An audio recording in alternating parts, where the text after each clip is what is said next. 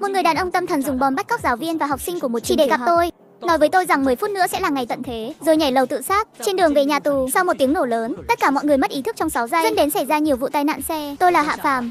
Tôi sẽ chứng kiến ngày tận thế đến.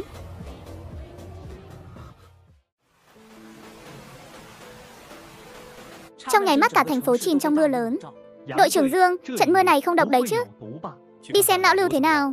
Lão Lưu mà Dương Chính Hòa nói là tài xế. Khi tai nạn xảy ra, lão Lưu bị đâm thẳng ra khỏi xe. Chất tiệt, chất tiệt. Đó là thứ gì vậy? Đó là quái vật gì thế? Đội trưởng Dương mau quay lại đi.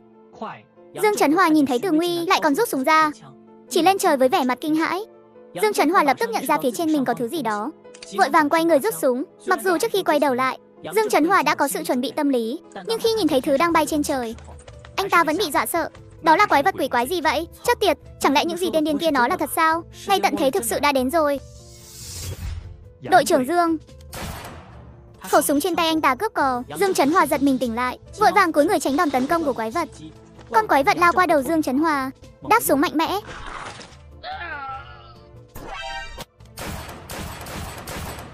Bắn liên tiếp bốn phát, nhưng sức mạnh của súng cảnh sát có hạn, cộng thêm trận mưa như chút nước, cả bốn viên đạn đều trượt.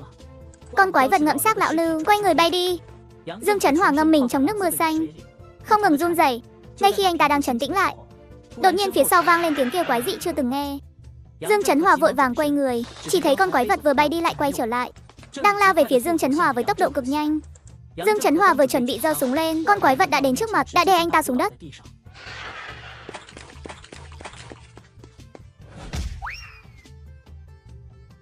Cậu là Hạ Phàm, sao cậu lại ra ngoài được? Tôi chỉ định cứu Từ Nguy. Lúc này Từ Nguy có vẻ như bị sốc, chỉ biết run rẩy, cầm súng mà không biết. Răng chìa khóa đang ở ngay bên mình. Lấy trộm luôn.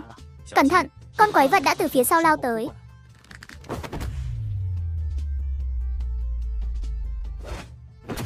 Con quái vật lại phát ra tiếng gào thét chói tai. Cánh nó rung lên, vội vàng bay lên trời. Cậu có phải là người không hả? Này đừng chĩa súng vào tôi.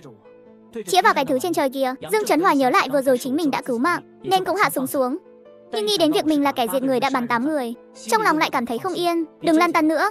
Anh nhìn xem con quái vật trên trời vẫn chưa đi kìa. Chỉ thấy con quái vật không bay đi, mà đang lượn vòng trên cao, luôn tìm cơ hội. Con quái vật đó, cậu có biết nó không? Không biết, chỉ là tên gọi tùy tiện thôi. Đột nhiên con quái vật lại lao xuống. Chỉ có điều lần này mục tiêu không phải Dương Trấn Hòa, cũng không phải tôi. Tiểu Nguy, mau chạy đi. Tư Nguy đã sợ đến mức không thể động đậy, cầm chặt súng trong tay. Có thể sẽ cướp có bất cứ lúc nào. Tầm bắn hiệu quả của súng cảnh sát, căn bản không thể bắn trúng con quái vật đang lao xuống. Con quái vật mang theo cơn gió mạnh, từ Nguy hoảng loạn, anh ta điên cuồng bắn súng. Bắn hết tất cả đạn trong súng. Vẫn không ngừng bóp cò. Con quái vật đang chuẩn bị bắt đầu bữa tiệc tự chọn của mình. Dương Trấn Hòa bắn viên đạn cuối cùng. Trúng vào cánh của con quái vật. Hai người mới nhận ra, con quái vật này lại có hai đôi cánh. Con quái vật nhanh chóng rung động đôi cánh nhỏ, nó phát ra đủ loại âm thanh khác nhau. Có tiếng kêu thảm thiết khi xảy ra tai nạn, âm thanh va chạm của hai chiếc xe và tiếng rên rỉ. Cuối cùng lại có cả tiếng người nói. Thật vô lý, con quái vật này biết nói sao? Anh làm cảnh sát kiểu gì vậy? Đây rõ ràng chỉ là giống như vẹt bắt trước. Con quái vật này, chắc chắn nó cũng không hiểu những âm thanh đó có nghĩa gì. Tôi liếc nhìn một cái, chỉ vào một cái cửa gần đó. Tôi đi cứu người, anh đi trước đi. Thấy cửa cuốn ở cửa ra và còn hở, chúng ta cùng nhau. Anh lập tức kéo cửa cuốn xuống. Tôi nhanh chóng tiến về phía con quái vật. Con quái vật không ngừng rung động đôi cánh nhỏ, phát ra đủ loại âm thanh để đe dọa. Muốn dọa lui ta ư? chết tiệt, Tôi nhìn vào trong xe, Từ Nguy vì quá sợ hãi, chỉ biết run rẩy không ngừng. Đừng có đứng ngay ra đó, nhanh ra ngoài đi. Tôi không cho Từ Nguy cơ hội phản ứng. Kéo Từ Nguy ra khỏi xe. Chạy nhanh lên, chạy nhanh lên. Tôi quay lại nhìn. Ôi trời, đã đụng phải tổ ong rồi. Chỉ thấy trên trời đầy rẫy, không biết có bao nhiêu con quái vật giống như con rơi. Không trách được người ta nói là ngày tận thế. Cái thứ này từ đâu ra vậy? Đừng bỏ tôi lại, đừng bỏ tôi lại mà. Đến tiệm cắt tóc, trực tiếp nắm lấy cửa cuốn kéo xuống. Đừng đóng cửa, tôi kéo cửa cuốn xuống còn cách mặt đất một tấc. Nếu Từ Nguy chưa chạy tới mà bị quái vật bắt, tôi sẽ không do dự mà kéo cửa cuốn xuống. Khi Từ Nguy còn cách cửa cuốn 3 mét, một con quái vật đã đến sau lưng Từ Nguy, mở rộng cánh chuẩn bị bắt lấy cậu ấy. Từ Nguy chỉ còn lại ý nghĩ chạy trốn, cửa cuốn ngay trước mắt. Tôi lập tức với tay nắm lấy chân Từ Nguy, kéo mạnh cậu ấy vào trong.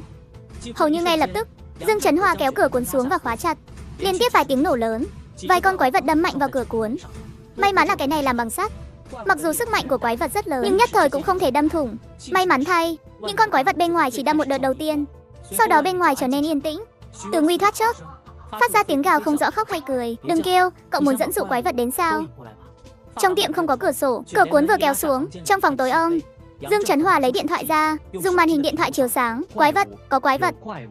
Dương Trấn Hòa vội vàng giơ súng lên. Mặc dù đã hết đạn. Đừng bắn, đừng. Đồng chí cảnh sát, chúng tôi là người. Chỉ thấy ở sâu trong tiệm có hai người đang giơ tay lên. Sợ hãi nhìn Dương Trấn Hòa,